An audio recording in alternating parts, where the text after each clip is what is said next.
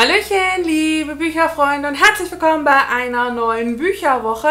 Einer Bücherwoche, die nicht nur von den Büchern ein bisschen Paris-lastig war, ein bisschen abenteuerlich war, leider auch ein bisschen den Flop dabei hatte, aber dafür jetzt auch eine ja, Neuerscheinung, die es seit gestern gibt, die ich euch vorstellen möchte.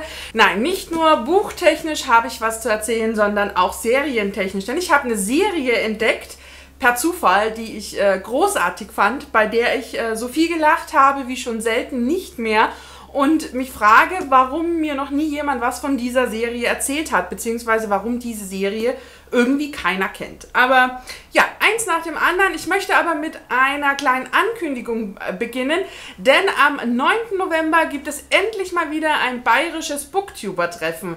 Und äh, ganz viele, ich sag jetzt mal, bayerische Booktuber werden dabei sein. Und natürlich seid ihr als Booktuber-Zuschauer ja, Mitleser, als Bücherfreund herzlich eingeladen, mit dabei zu sein. Und zwar wird das am 9. November sein und wir werden diesmal in Würzburg unterwegs sein. Ich war selbst in meinem Leben, glaube ich, bisher nur zweimal in Würzburg, habe es immer als super schöne Stadt empfunden und bin sehr gespannt auf die Buchläden, auf was wir da so ein bisschen entdecken, was wir uns anschauen und ich freue mich sehr, dass es endlich mal wieder ein bayerisches Booktuber-Treffen geben wird. Ich glaube, der Treffpunkt ist um 10 Uhr am Hauptbahnhof und es stand in der Gruppe eben drin, äh, dass der Hauptbahnhof relativ klein ist und man sich gar nicht, ähm, ja, irgendwie ja nicht finden könnte. Also wer am 9. November, es ist ein Samstag, noch nichts vorhat, herzlich willkommen beim Bayerischen Booktuber-Treffen. Ich würde mich sehr freuen, ein paar Leute von euch äh, dann auch zu sehen, wiederzusehen, neu zu treffen. Und ich äh, nehme mir fest vor, ein bisschen zu vloggen, was ich ja zum Beispiel in Münster nicht gemacht habe. Aber ich möchte tatsächlich äh, ja so ein bisschen ja auch Eindrücke aus Münster mitnehmen. Und das geht natürlich am besten über die Cam. Ja, so viel dazu. Ich schreibe den Termin nochmal unten in die Infobox. Schaut da gerne rein. Es ist ja jetzt auch gar nicht mehr so lange dahin. Ich glaube theoretisch noch drei Wochen. Und ich dachte, es passt jetzt einfach mal, um das hier mit anzusprechen. Zu den Büchern dieser Woche.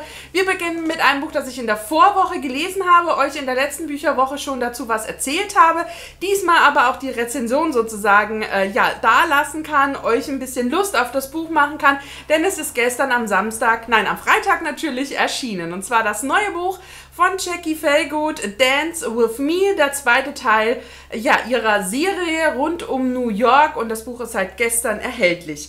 Dann habe ich äh, gelesen mit 80 Viechern um die Welt von Markus Huth, einen äh, ja, Tiersitter, der ja ein bisschen auf Abenteuerreise ist.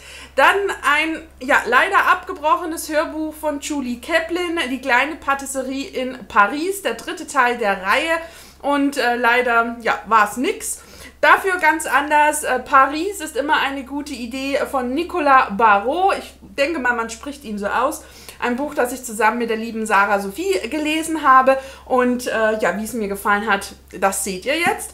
Und dann habe ich äh, gelesen das neue Buch von Lainey Taylor, Strange the Dreamer. Oder? Ich glaube so, ne? Ja, ja, der erste Teil äh, ist jetzt erschienen. Es ist die neue Buchreihe von Lainey Taylor. Und äh, ja, die habe ich äh, ja dann auch noch am Sonntag bei schönstem Wetter beendet. Ja, das Wetter war am Wochenende ja wirklich Bombe. Vorher war es ziemlich, ziemlich kalt, ziemlich dunkel.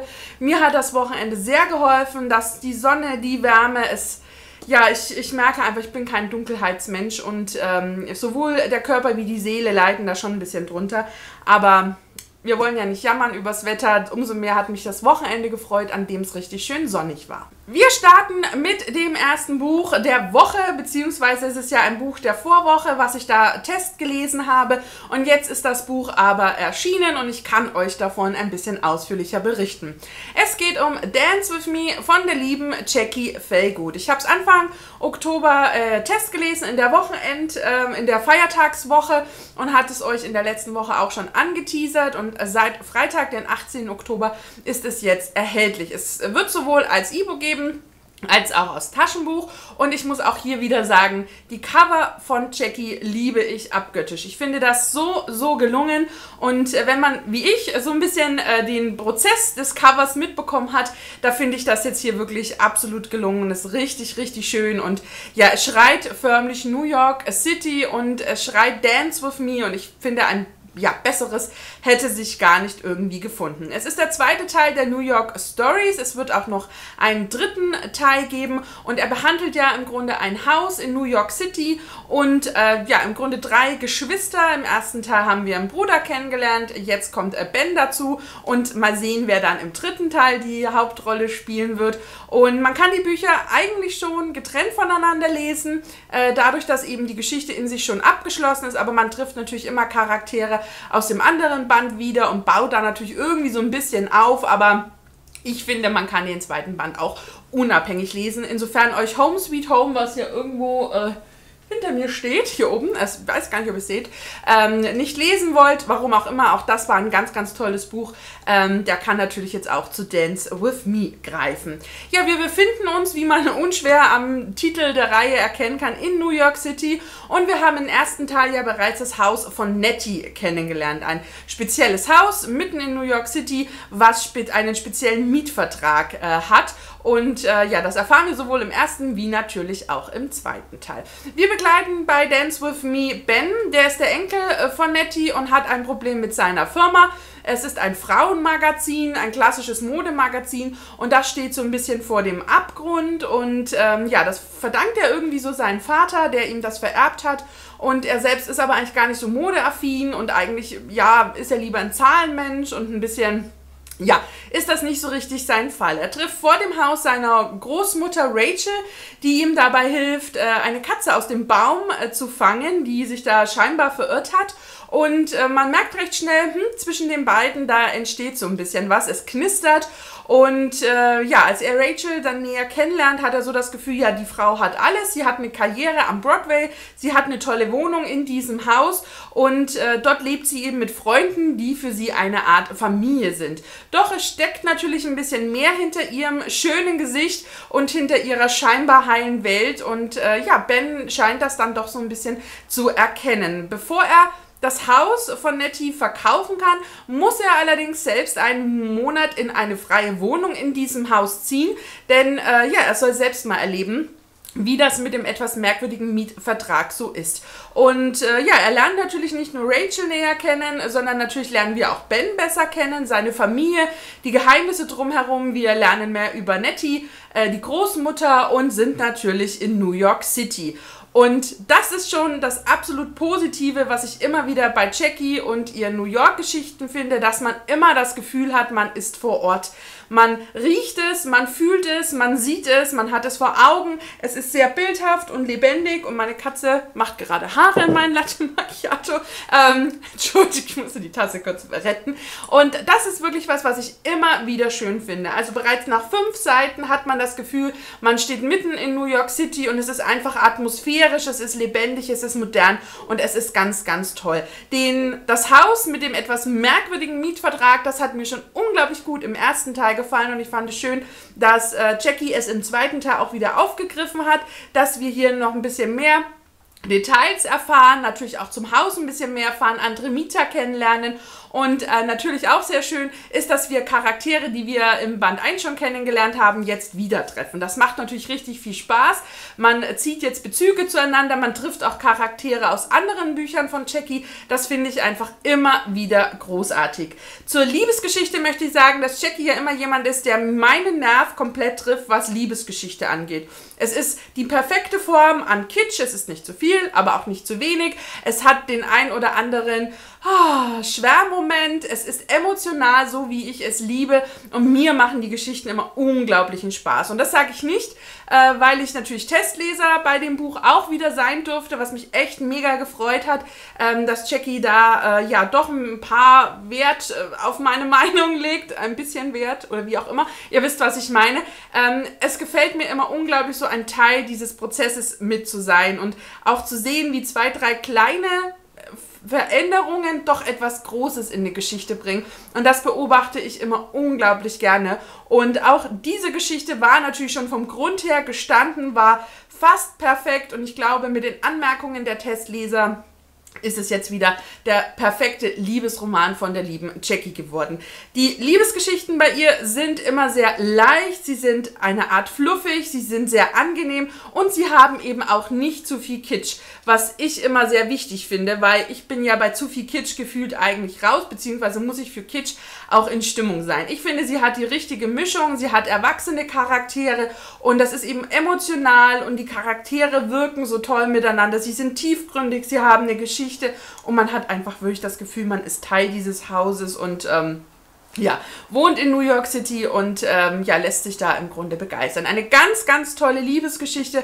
Auf jeden Fall wieder ein Highlight in diesem Genre. Nicht nur, weil es Jackie geschrieben hat, nicht nur, weil ich es Test gelesen habe, sondern weil die Geschichte wirklich richtig, richtig schön ist und es mir wirklich unglaublichen Spaß gemacht hat, diese Geschichte zu entdecken und äh, ja, darin im Grunde auch mit aufzugehen. Und das finde ich einfach ganz, ganz toll. Also, großes Bücherkino. Wer Liebesromane gerne liest, wer gerne nach New York City möchte, der ist hier absolut richtig. Die weite Welt ruft uns. Äh, das erste echte Buch sozusagen dieser Woche ist dann mit 80 Viechern um die Welt von Markus Huth. Äh, wir lernen Markus Huth kennen. Er reist gerne und möchte sein Reiseabenteuer, sein ja inneres, ähm, seine innere Abenteureruhr möchte er mit sinnvoller Tätigkeit ergänzen. Und so wird er über verschiedene Internetseiten Haus- und Tiersitter auf der ganzen Welt und ähm, ja, wir erleben ihn sozusagen auf diesen Reisen mit seinen Aufgaben ein bisschen an Orten äh, mit unterwegs und äh, ja, dürfen so ein bisschen erfahren, wie es ihm so geht. Wir äh, sind unterwegs auf La Gomera in Bulgarien, Kirgisistan, Kirgisistan, in Kanada, wir sind auf Sri Lanka, Australien und irgendwo waren wir noch in Afrika, ich glaube es war in Namibia. Und ähm, es gibt zu seiner Person gar nicht so viel zu erzählen, sondern wirklich nur das, was er auf den Reisen auch ähm, im Grunde uns erzählt. Sprachlich ist es sehr einfach gehalten, sehr flüssig, es ist wenig spannungsvoll, aber man erlebt natürlich mit ihm seine Tätigkeiten, seine Reisen, man erlebt die Orte und äh, man ist da im Grunde schon mit dabei. Es hat schon so eine Art Tagebuchcharakter, was ich wiederum ganz schön fand. Ich hätte mir so ein bisschen ah, was Besondereres gewünscht, das muss ich ganz klar sagen. Dazu lese ich äh, wahrscheinlich auch schon zu viele Reisebücher, ähm, dass ich mir schon denke, ja, so ein bisschen mehr oder irgendwas Besonderes wäre ganz schön gewesen. Ähm, was ich sehr gelungen fand, war die Ortsbeschreibungen, die Länder, in denen wir waren, dass er auch auf Dinge eingegangen ist, die in diesen Ländern wichtig sind, die man wissen sollte, die man so ein bisschen mitbringen soll, wenn man in dieses Land reist. Das hat er für mich sehr gut gemacht. Auch was ihn an den Ländern gereizt hat, was er besonders schön findet, warum er gerne dort ist, warum er dorthin reisen wollte, das hat er richtig, richtig gut rübergebracht. Was mir ein bisschen kurz kam, waren tatsächlich die Tiere. Ähm, er versucht auch sehr viel Wissenswertes über Tiere, die es vor Ort halt nur gibt, äh, zu erzählen. Und das wirkt manchmal ein bisschen wie auswendig gelernt oder ja, hat er sich irgendwo angelesen. Und ähm, ja, ich hätte mir da mehr Erfahrungen gewünscht, mehr eigene Gedanken, mehr Ideen dazu. Ich mochte seinen Humor sehr gerne. Es hat sehr viel Spaß gemacht. Er hat natürlich nicht nur äh, Witzgeschichten oder lustige Erlebnisse, sondern auch sehr ernste Themen, ähm, die mir aber wiederum dann auch ein bisschen zu kurz angerissen waren. Ich fand es nicht so richtig ausgleichend. Und was mich sehr tatsächlich gestört hat, ist, äh, dass wenn halt über Tierqualen gesprochen wurde, zum Beispiel ganz im Besonderen über die Elefanten auf Sri Lanka und auch über die Schafe in Australien, da hatte ich so das Gefühl, dass der Autor nicht darüber nachdenken wollte, beziehungsweise ähm, es so anreißt und dann aber eigentlich gar nicht tiefer gehen wollte, weil er da wahrscheinlich das Fass nicht aufmachen wollte. So war zumindest mein Gefühl und das fand ich tatsächlich sehr, sehr schade, weil das sind Themen, die durchaus sehr ernst sind, die man ähm, vielen Menschen wahrscheinlich auch erstmal noch klar machen muss äh, weil ich glaube, bei Schafe, Wolle und Australien, da wird es jetzt bei vielen Menschen gar nicht so klingeln, äh, selbst die, die sich mit Tierschutz beschäftigen. Aber das ist was, wo ich mir mehr Ernsthaftigkeit gewünscht hätte. Alles in allem ist es ein schönes Buch. Es ist für mich jetzt aber unter den Reisebüchern, die ich in den letzten zwei Jahren gelesen habe, kein Highlight. Auch zu den Tiergeschichten, die ich gelesen habe, kam es nicht so richtig ran, weil er mir eben doch zu oft im Vordergrund steht und nicht seine Tätigkeit oder das Land oder ja auch die Tiere. Und ja, es war humorvoll, es hat mich unterhalten, gar keine Frage, aber ich habe mich eben an mancher Stelle tatsächlich so ein bisschen geärgert, dass er es äh, nicht ernst genug für meinen Geschmack genommen hat. Aber ja, kann man lesen, muss man aber nicht. Zum nächsten Buch möchte ich eigentlich am besten gar nicht so viel erzählen, denn ich habe es nach ca. 150 von 400 Seiten abgebrochen. Also ich habe ein bisschen mehr als ein Drittel äh, gelesen. Und zwar ist es die kleine Patisserie in Paris von Julie Kaplan. Beziehungsweise ich habe es nicht gelesen, ich habe es gehört. Es ist der dritte Teil der Romantic Escapes Reihe. Im Original habe ich gesehen, gibt es fünf Bände. Im Deutschen sind aber aktuell nur drei übersetzt. Sprecherin ist Hannah Baus. Äh, die mir, glaube ich, nichts sagt. Ich glaube, auch die anderen Bände wurden von jemand anderem gesprochen. Ja, Name hat mir nicht so viel gesagt. Äh, das Buch kam schon ein bisschen länger raus, ich glaube im Mai oder Juni. Das Hörbuch selbst, glaube ich, dann erst Ende August. Und da habe ich doch recht sehnsüchtig darauf gewartet. Ich fand den ersten Teil in Kopenhagen großartig. Der zweite Teil in Brooklyn war wirklich sehr gut. Aber beim dritten Teil fand ich schon ein bisschen... Hm. Ja, wir begleiten Nina, äh, die eine Zwangspause im Job einlegen muss und nach Paris reist. Dort kommt sie bei Sebastian unter, das ist der beste Freund ihres Bruders, den sie früher, als sie jung war, für den hat sie schon geschwärmt, in den war sie verliebt. Und irgendwie merkt sie halt jetzt doch, das tut sie heute auch noch. Und äh, seine große Leidenschaft ist das Backen und Kochen. Und ähm, ja, daneben, neben dieser Leidenschaft, ähm, ist er aber doch sehr arrogant und auch jammerig unterwegs. Das fand ich wirklich schrecklich. Ähm, Nina möchte aus der kleinen, urigen Patisserie um die Ecke ein modernes Bistro machen. Sebastian wehrt sich aber so ein bisschen dagegen und ja, wir begleiten sie gefühlt so ein bisschen auf ihren Weg dahin, ob sie das schafft oder nicht. Viel mehr gibt es gefühlt zu den 150 Seiten auch nicht zu erzählen. Es ist relativ früh klar, was da passieren wird, warum es passieren wird, wie es passieren wird. Was mir ein bisschen gefehlt hat, ist diese romantische Flucht, wie ja die Reihe eigentlich dann im Deutschen heißt. Ähm, denn bei Band 1 und 2 hatten die äh, Frauen durchaus irgendwie einen Grund, um zu flüchten, in Anführungs also flüchten in Anführungszeichen. Und ähm, ja, das hat mir hier irgendwie gefehlt. Die Sprecherin fand ich ganz gut. Sie war modern, hat sehr flüssig erzählt. Also da kann ich mich überhaupt nicht irgendwie ähm, beschweren. Sprachlich war auch das Buch wieder modern und flüssig geschrieben. Man hatte an manchen Momenten durchaus dieses Wohlfühlcharakter äh, gespürt, den die anderen Bände für mich hatten. Aber es waren einfach zu wenig wohlige Momente. Ähm, ich fand es, die, das erste Viertel unglaublich langweilig. Es wollte keine Spannung aufkommen, es kam kein äh, Paris irgendwie für mich auf, es war irgendwie, ja, die Charaktere tümpelten sie vor sich hin. Ich weiß nicht, ich konnte Paris nicht fühlen, ich war nicht vor Ort. Ich habe, gerade wenn man es dann zum Beispiel mit dem New York Buch von Jackie vergleicht, äh, das war ja, also da liegen wirklich Welten dazwischen. Also es war leider nicht meins. Es war wirklich langweilig und irgendwann dachte ich, ach, ich habe eigentlich gar keine Lust mehr zu hören. Und dann habe ich auch mal zwei Tage nicht zum Hörbuch gegriffen. Und das ist für mich eigentlich dann schon immer ein Zeichen, ja, dass, dass mir da irgendwas äh, nicht gefällt, dass mir da irgendwas nicht gefallen hat dass äh, ich nicht so richtig drin bin und ähm, ja, dann habe ich es auch irgendwie sein gelassen. Und ja, es ist schade, aber der Vorteil natürlich bei Audible ist zum Beispiel, dass man natürlich auch un, also Bücher, die einem nicht gefallen, auch einfach umtauschen kann. Das finde ich sehr praktisch. Und ich habe da, mich hat da mal jemand gefragt, ob ich da ein schlechtes Gewissen habe. Nein, denn ich habe das Buch ja auch nicht zu Ende gehört, selbst dann fände ich es nicht schlimm, aber ähm, man kann durchaus ja erkennen, wie weit ich gehört habe. Und von daher denke ich mir, okay, ja, ein Buch kann man natürlich nicht zurückgeben, wenn es einem nicht gefällt, äh, wobei ich es dann natürlich wiederum weiter verkaufen könnte. Aber ich finde das bei Audible wirklich praktisch und ähm, habe es hier auch genutzt und finde es auch persönlich überhaupt nicht schlimm. Band 1 war großartig, Band 2 okay oder sehr gut und Band 3 Mehr möchte ich, glaube ich, gar nicht dazu sagen. Von einem Paris-Buch, das ich abgebrochen habe, zum einem Paris-Buch, was mir sehr, sehr gut gefallen hat. Und zwar ein Buch von Nicolas Barrault. Paris ist immer eine gute Idee. Wieder ein wunder, wunderschönes Cover und ich finde die von Nicolas Barrault immer sehr, sehr gelungen und auch sehr, sehr schön. Ich habe äh, das Buch zusammen mit der lieben Sarah gelesen. Ihren Kanal packe ich unten in die Infobox. Schaut bei ihr gerne mal vorbei. Es war unser erstes gemeinsam gelesenes Buch und wir hatten einfach ähm, ja, gemeinsam Lust auf Barreau, zudem war es bei mir auf dem Sub gelegen und ähm, ich kann, glaube ich, schon so viel verraten, es wird nicht unser letzter Barreau gewesen sein. Ich habe schon einige Bücher von ihm gelesen und ich war immer sehr angetan davon. Ich mag es, wie er, oder wie sie, also hinter Nicolas Barreau steckt ja eine deutsche ähm, Verlagsmitarbeiterin, glaube ich, war es mal. Und ja, ich glaube, so war die, die Story.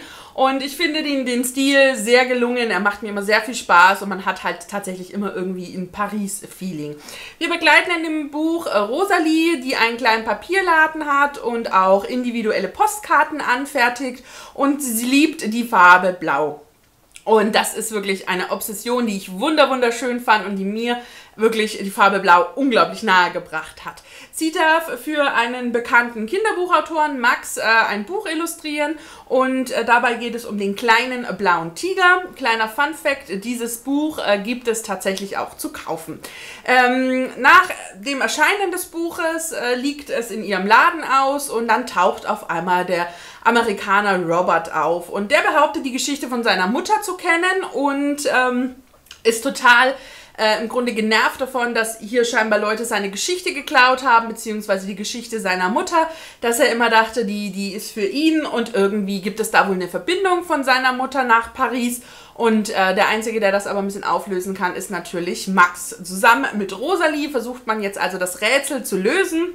Und dieses Rätsel liegt irgendwie im Verborgenen von Paris. Einige Dinge, die ich an diesem Buch richtig, richtig schön fand. Also ich habe es vorhin schon gesagt, die Liebe zu Blau. Es ist wie bei allem beim Nicolas Barrault, ich finde, wenn er etwas äh, bildhaft beschreibt, wenn er etwas liebt, etwas mit Leidenschaft rüberbringen will, dann macht er das. Und äh, es ist dann an mancher Stelle natürlich schon kitschig oder auch mal eine Spur drüber, aber ich finde es wunder, wunderschön. Denn Barrault schafft es nicht nur, dass man Paris vor Augen hat, sondern man spürt es, man riecht es, man hat die Leichtigkeit vor Augen, die Moderne, die Romantik ist unglaublich gut rübergebracht und ähm, man flirtet so ein bisschen irgendwie mit dieser Stadt.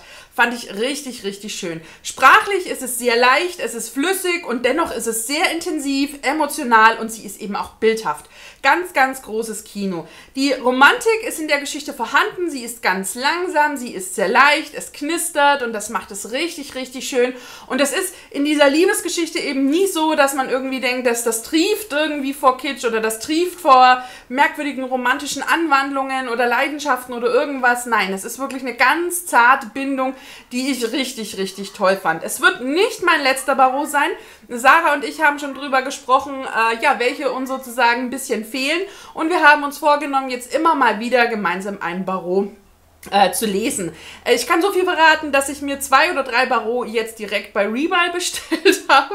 Das heißt, es kann jederzeit mit einem Barreau weitergehen. Für mich sind diese Geschichten wirklich immer sehr leidenschaftlich, sehr herzlich, sehr romantisch und mir machen die wirklich Spaß. Es ist immer so ein, ein Ankommen in Paris, ein Leben eines anderen irgendwie kennenlernen und wirklich emotional so ein bisschen mitgehen. Es ist für mich nicht direkt so ein komplettes Highlight. Ich finde, dafür fehlt vielleicht so ein bisschen Tiefgründigkeit, dass man so wirklich, ähm, ja, vielleicht auch nicht nur in Anführungszeichen zwei, drei Charaktere hat, sondern ein bisschen ja, intensiver vielleicht tatsächlich noch geht. Aber es sind wunder, wunderschöne Geschichten, nicht nur Liebesgeschichten, sondern eben auch Lebensgeschichten. Und allein, dass es nach diesem Buch dann noch den kleinen blauen Tiger als Buch gab. Also das ist ja wirklich großartig. Kann ich absolut empfehlen. Barreau finde ich geht immer und ich freue mich jetzt schon auf die nächsten Bücher, die wir gemeinsam entdecken. Und das letzte Buch der Woche ist dann Strange the Dreamer, der erste Teil der ja, Strange the Dreamer Reihe, keine Ahnung von Lainey Taylor, mit dem deutschen Untertitel Der Junge, der träumt. Äh, ich habe von der Autorin äh, damals da Daughter of Smoke and Bone gelesen und ich fand den ersten Teil großartig, den zweiten Teil gut und ich glaube, den dritten habe ich dann nicht beendet. Ich weiß nicht, äh, ich kann mich da nur sehr vage dran erinnern, ähm, was mir da vielleicht nicht gefallen hat, äh, müsste ich tatsächlich in der Bücherwoche nachlesen. Im Englischen ist es ein kompletter Band, im Deutschen hat man diesen aufgeteilt und der zweite Teil erscheint dann, glaube ich, Ende November und hat den Untertitel Ein Traum äh, von Liebe. Das englische E-Book habe ich gesehen, gibt es aktuell für 99 Cent, also für alle, die gerne auf Englisch lesen. Ja, das wäre vielleicht tatsächlich eine Alternative, um gleich beide Bände hintereinander zu lesen. Für mich stellt sich in solchen Dingen immer die Frage, warum wurde das getrennt? Ich fand das schon bei äh, dem letzten Teil von Kuss der Lüge nicht wirklich gelungen und bei noch irgendeinem Buch hat man im Deutschen das Trennen angefangen, was ich auch tatsächlich nicht so richtig verstehe. Bei Filmen macht es vielleicht noch irgendwie Sinn, gerade wenn man an Harry Potter denkt oder auch an Panem. Äh, da finde ich überhaupt nichts verwerflich, wenn man das ähm, ja als äh, Filmschreiber, als Drehbuch Buchschreiber irgendwie berücksichtigt, dass da so der Spannungsbogen einfach korrekt ist. Bei diesem Buch, und das ist tatsächlich mein großer Kritikpunkt, merkt man eben, dass man einfach gefühlt irgendwo in der Mitte eine Pause gemacht hat und man irgendwie merkt, dass die Geschichte eigentlich gerade Fahrt aufnimmt. Und dann ist aber die Mitte so erreicht und dann ist die Geschichte zu Ende. Und das ist was, was ich äh, unglaublich schade finde, weil da verliert die Geschichte so ein bisschen ja, ihren Reiz und ihre Art des Erzählens. Weil Lainey Taylor hat sich natürlich was dabei gedacht, als sie dieses Buch geschrieben hat und hat sich auch ja im Grunde die Erzählkurve was dabei gedacht.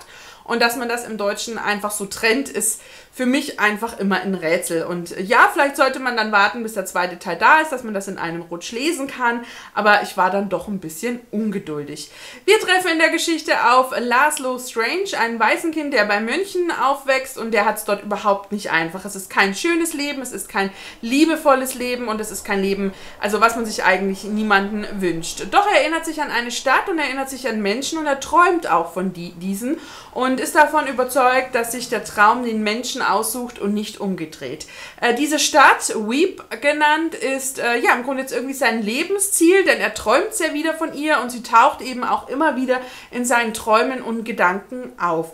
Gemeinsam mit seinen Freunden, speziellen Begleitern, äh, geht, hat er jetzt die Möglichkeit, diese Stadt zu besuchen und macht sich mit diesen auf den Weg. Alle Freunde haben besondere Gaben und äh, das macht die Geschichte und die Charaktere, die wir eben kennenlernen, auch sehr abwechslungsreich. Ähm, ja, man merkt dem Buch einfach wirklich an, dass es gefühlt mittendrin an einer willkürlichen Stelle ändert. Und das finde ich wirklich sehr, sehr schade. Die, äh, die Hälfte des Buches sozusagen, also was jetzt das Buch angeht, hat man schon den Eindruck, dass man in die Welt erstmal hineingebracht wird. Äh, sie wird erzählt, wie die Welt aussieht, wie die Welt äh, gedreht ist, wie was in der Welt passiert ist, was es mit dieser Stadt auf sich hat. Wir lernen die Charaktere kennen und die lernen wir wirklich sehr tiefgründig kennen und es ist unglaublich faszinierend, wie viele unterschiedliche Charaktere Lainey Taylor geschaffen, geschaffen hat, denn keiner gleicht dem anderen und alle sind sehr speziell und sehr einzigartig und es macht einfach Spaß, wie die miteinander, untereinander, ähm, ja, im Grunde kommunizieren, wie die miteinander umgehen und mir hat das wirklich sehr viel Spaß gemacht. Auch diese ganze Welt, es ist eine bildhafte Erzählung, die, sie ist fantasievoll, sie strotzt vor Ideen und Innovationen und es macht unglaublichen Spaß, diese Welt zu entdecken. Es ist eine richtig, richtig schöne Geschichte, ähm, wirklich auch anhand dieser Atmosphäre, dieser schönen Beschreibungen äh, der Städte, der Umgebung, dass man richtig Lust hat, da eigentlich auch direkt mal mit hinzugehen. Es ist wirklich bildgewaltig, es ist fantasievoll und ich fand es tatsächlich auch sehr, sehr spannend, diese Kinder kennenzulernen, diese Orte kennenzulernen, dieses Träumen zu verstehen und ich freue mich sehr auf Band 2. Denn es ist wirklich ein sehr gemeines Ende im Band 1 und man fragt sich wirklich, äh, wer war hier so masochistisch hier drin, im Grunde den, den äh, Stoppknopf äh, sozusagen zu drücken. Und das ist halt echt was, was ich einfach den deutschen äh, Verlag ähm, auch vorwerfen möchte, was das eigentlich soll, ob man denn wirklich äh, deutschen Jugendlichen nicht zutraut, dass die vielleicht ein Buch mit 700 Seiten oder 750 äh, Seiten lesen. Also es ist halt sehr, sehr schade. Aber ja, manchmal kann man es nicht ändern. Mir hat es sehr viel Spaß gemacht, diese ganze Idee ums Träumen, um diese Stadt, um diese Geheimnisse, um diese Reise. Das ist einfach was, was ich sehr gerne in der High Fantasy lese und auch in diesem Fall hat mir Lainey Taylors Stil sehr gut gefallen. Er hat eben, wie gesagt, so gegen Ende ein bisschen geschwächelt, was aber wahrscheinlich einfach daran lag, dass äh, jetzt wahrscheinlich dann mit Beginn des zweiten Teils etwas passiert und das ist halt dann immer so, ja, es passt dramaturgisch so, sagt man das so? Halt irgendwie nicht, dass man einfach ein Buch mittendrin irgendwie trennt. Und das merkt man leider im Deutschen einfach. Aber ich kann es absolut empfehlen. Und wie gesagt, wer Lust hat, da mal was in Englisch zu lesen, äh, der sollte bei 99 Cent auf jeden Fall zugreifen. Ja, eine Woche, die bis auf eine Ausnahme sehr gelungen war, sehr viel Lesespaß gebracht hat. Und ja, das Hörbuch war es nicht so richtig, aber das kann eben durchaus auch mal passieren. Jetzt wisst ihr schon, welches... Äh, Hörbuch auf jeden Fall nicht der Hörgenuss des Monats sein wird. Das ist, äh, ja, wir werden dann nicht nochmal gemeinsam nach äh, Paris reisen, aber gut.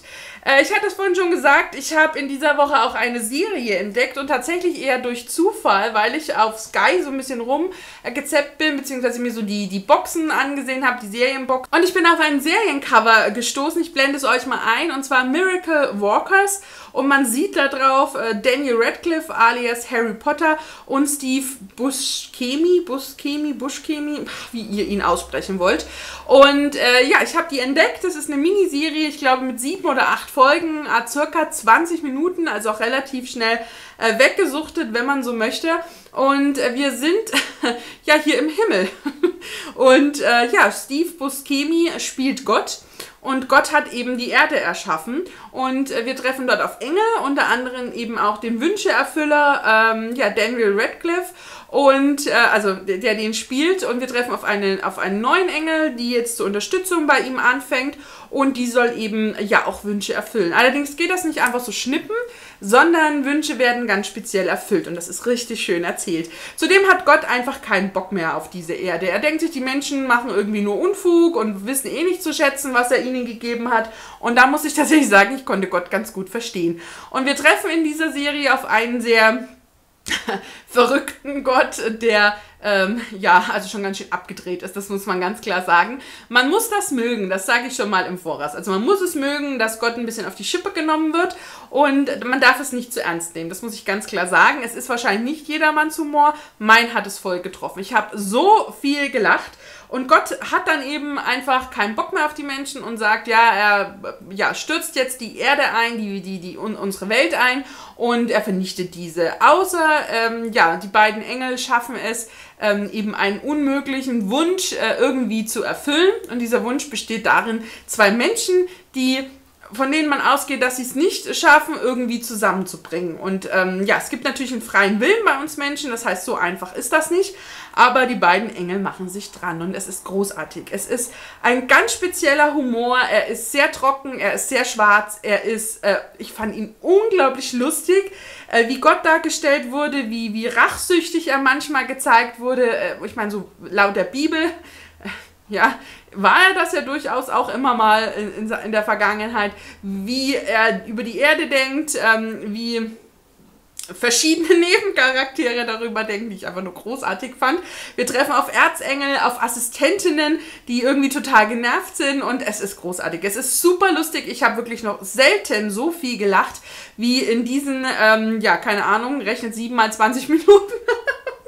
Äh, ja, knapp zwei, zweieinhalb Stunden. Ich habe so viel gelacht. Ich hatte so viel Spaß. Ich fand die Rollen toll besetzt. Ich fand Daniel Radcliffe großartig, Steve Buscemi grandios. Ich mochte den Erzengel wirklich ganz, ganz toll. Zudem diese beiden Charaktere, die eben dieses Paar irgendwie spielt. Ich fand das einfach nur Hammer. Ich war total geflasht. Ich war hin und weg und bin es immer noch und fand es einfach der Wahnsinn. Allein die Ideen, die da drin stecken, diese Liebe zum Detail und es ist einfach der Hammer. Also ich kann diese Serie absolut empfehlen. Ähm, bei den humorvollen Serien für mich definitiv ein Highlight, die mir wirklich ganz viel Spaß gebracht hat.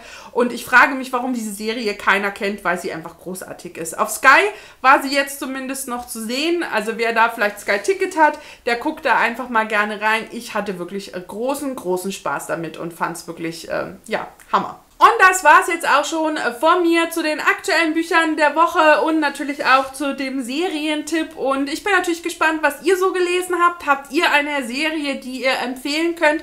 Alle Buchinfos findet ihr wie immer unten in der Infobox. Schaut da gerne mal vorbei.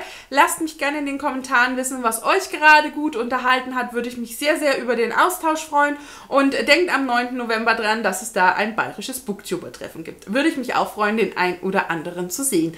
Und nun danke ich euch fürs Zusehen, wünsche euch noch einen schönen Tag, einen schönen Abend und bis zum nächsten Video. Macht's gut, tschüss, eure Steffi.